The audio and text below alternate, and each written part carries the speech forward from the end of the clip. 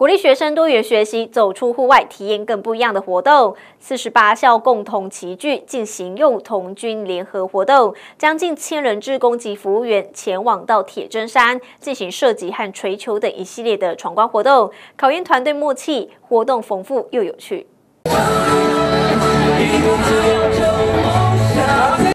台下将近千人随着台上老师的引导，开心共舞，展现活力，迎接幼童军联合活动。接着，幼童军到各个关卡闯关，有打锤球以及河接水管传球等关卡，都考验着幼童军的专注力与团队合作默契。生命之河就是滚，用管子滚球，然后就可以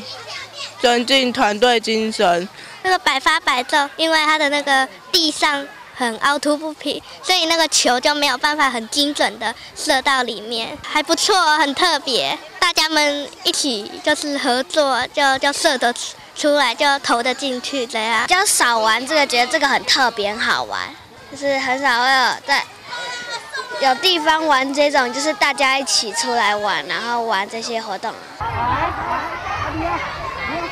这一次四十八校联合幼童军活动选在生态丰富的大甲铁砧山上举行，周围种满相思树、尤加利树、樟树等，让幼童军认识多元生态。游戏过程中由各校服务员和老师设计关卡，并担任关主，让幼童军从中体验团队合作，鼓励学童做中学，培养应变及解决问题的能力。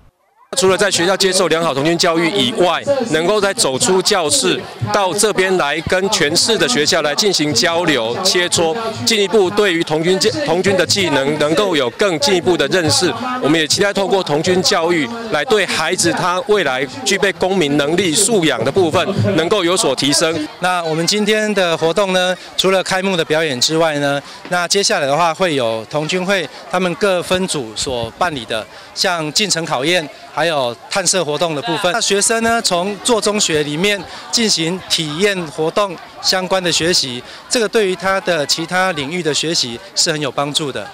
鼓励学生多元学习，走出户外，体验更不一样的活动。这次的活动规划，除了让小朋友多接触大自然，也间接培养幼童军们个人责任和冒险泛滥的精神，促进未来学业上和社会适应的发展。